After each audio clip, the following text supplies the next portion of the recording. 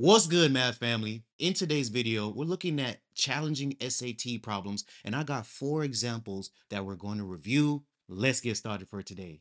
In our first problem, they're asking us for the circumference, right? We have a square inside a circle, and all they given us was the area for the square, which is 50. Now understand, for us to get the circumference of a circle, we have to either know the radius or the diameter. And that is what we're trying to find in this problem. So the first thing we need to, to understand or know is the formula for area for a square, which is area is equal to s squared. So we know 50 is equal to s squared. We rearrange the formula or simplify it. So we know that s is equal to the square root of 50, right? So that's the first piece of important information we need. Where does this go? So here it goes, here it goes right here here it goes right here. Now, why is this important? Because we're going to create a triangle, right? And when we look right here, this diagonal, right, of the square also represents the diameter of the circle. And we could find this two ways. We could use the Pythagorean theorem, right? 50 uh, radical 50 squared plus radical 50 squared is equal to Let's put c squared. c squared. So we're going to get radical 100 is equal to c squared. And we know that 10 is equal to c. Right? So we could get that this is 10. Or if we understood those special triangle relationships. So when we when we cut a square in half, right? Like how we did, we should know that each side is represented by s and then the diagonal is just s times radical 2. So if we follow that formula, guess what? Radical 50 multiplied by radical 2, radical 100, which simplifies to 10. We would get the same exact thing. Now that we got that piece of information, this is what we need to do next. But let's just erase and get some space first. All right. All right. So now that we got that, right, there's two things we need to know. We know area of a circle is equal to pi r squared, and we know circumference is equal to 2 pi r. Why is this important? Because this is where a lot of students make a mistake, right? Remember that the circumference is 10. That is not the radius.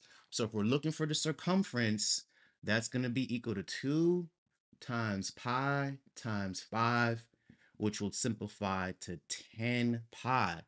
So the circumference in this answer, make sure, yep, would be B, 10 pi. But students sometimes are moving too fast, and what they end up doing is they they they mix these two formulas or they plug it into the wrong one and they'll do something like this. C is equal to pi r squared. And then the next thing you know, they have, they get 25 pi as an answer. But please, guys, make sure that you're you're you're you're careful and understand what they're asking, right?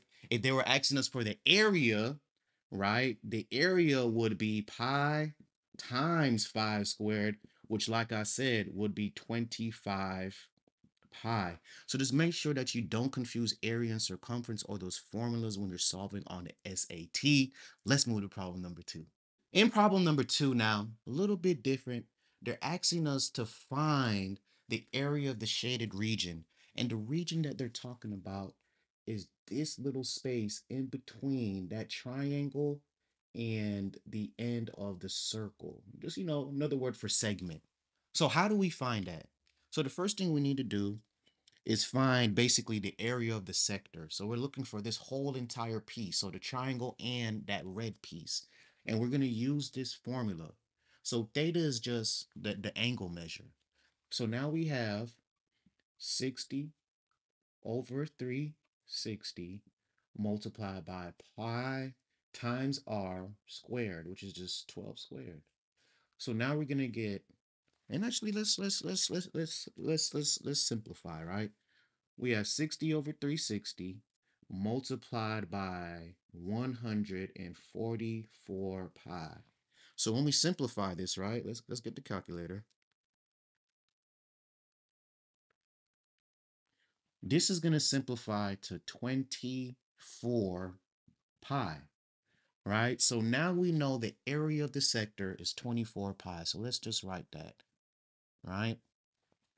And after we do this, the second thing that we need to do is to now focus on finding out what is the area of the actual triangle so that we could subtract and find the difference. And there's something special that kind of happens here. So if you've noticed, this is going to be an equilateral triangle, meaning that all the sides are going to be 12 and all the interior angles are 60.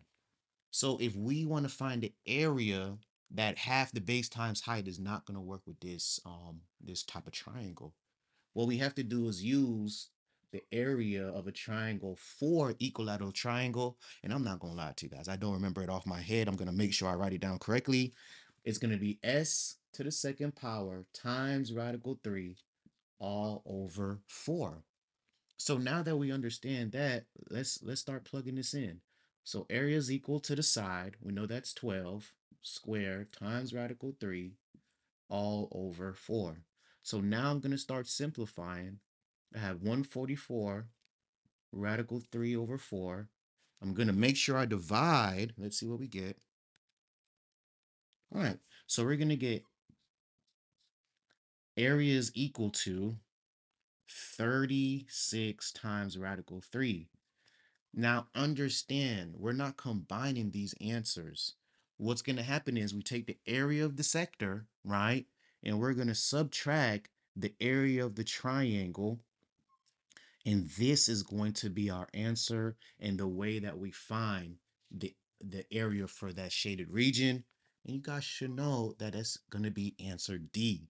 So just please make sure you guys review area of a sector and, and your triangle rules because they're definitely going to throw this type of problem up there. And now let's go to the next problem. Problem number three now we're dealing with parallelograms. You know they're going to throw this on there. So they're asking us what is the value of y minus z, right? So the first thing we want to understand is that opposite angles are congruent, right? So y and 3x minus 5 are going to be the same and 2x minus 5 and z are going to have the same angle measure right? And we know consecutive angles are going to are going to add up to 180 what is mr peter saying? If we use these two angles and create an equation we could figure out what y and z is. So this is what we need to do. We have 2x minus 15 plus 3x minus 5 is equal to 180, right? We know consecutive angles measure to 180. So we simplify, we get 5x minus 20 is equal to 180. Simplify more, 5x is equal to 200. Now we simplify, x is equal to, I want to say 40. Okay, perfect. I'm sorry, guys, I got lazy. All right, x is equal to 40.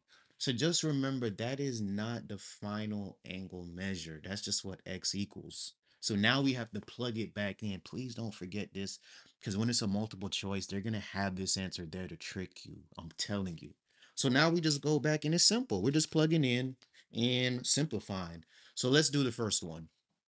So we got 2 times 40 minus 15. So that gives me 80 minus 15 65. So we know this angle is 65. This angle is 65 degrees. Now from here, guys, we could just do 180 minus 65 to get y and the other angle. But just for the video purpose, we're just going to plug it in, right? So now we have 3 times 40 minus 5. So this is 120 minus 5. We get a final answer of 115 Yup.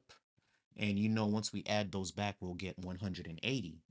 So now that we have the angle measures, right, all we got to do is subtract. So I got 115 minus 65, that's zero.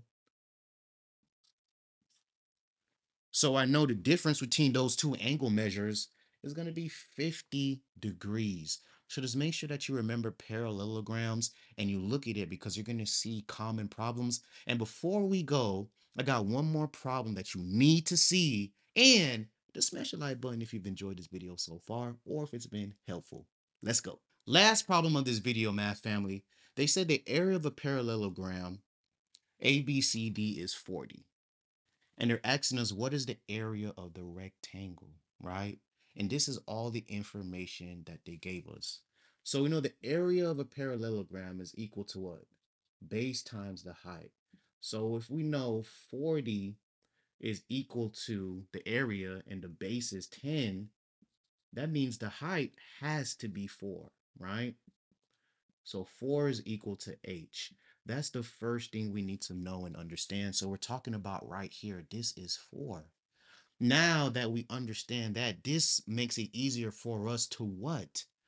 Find the base of this triangle right here, right? Because we know the whole distance is 10, but we don't know the distance right here. And we need to find that so we could find the area of what? The rectangle. So what we could do is do the Pythagorean theorem, right? C squared is equal to A squared plus, plus B squared, right? 25 is equal to 16 plus b squared. Once we subtract, we're going to get 9 is equal to b squared. We take the square root of both sides. We know that 3 is equal to b, right? So now we know that this is equal to 3. Or if you just kind of remember those special relationships with triangles, you should know a 3, 4, 5 triangle. So you could just plug that in without doing the Pythagorean theorem but we had to do that. So now that we've done that, right? Now that we've done that, we know that the height for the rectangle is 4. And when we subtract 10 and 3, we know the base from here to here is going to be 7. So now when I do the area, and this is equal to length times width, the area is going to be equal to 7 times 4. So I know area is equal to 28.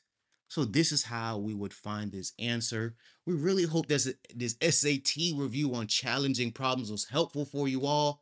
Thank you guys so much for joining us today on Algebra 1 with Mr. Peters. Smash the like button, subscribe to the channel, and leave comments for future videos you guys would like to see on our channel. Or if you had a question on today's video, thank you for joining.